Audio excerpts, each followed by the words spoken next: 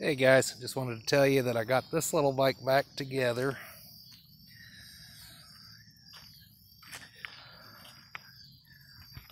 It's pretty much an all stock bike. The only thing that's been done to it is I bought the Studs Racing hydraulic brake kit and this thing most of the ones that I've seen from everywhere else you have to cut the little spacer down to get it to fit this one was literally bolt on.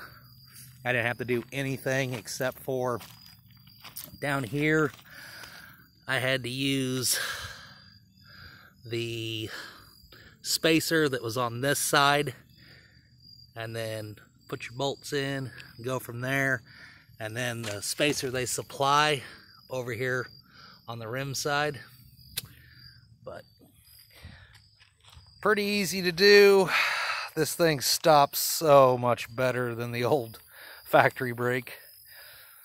But uh, the Ducar on my Pro right now, I'm waiting on a Mikuni carb.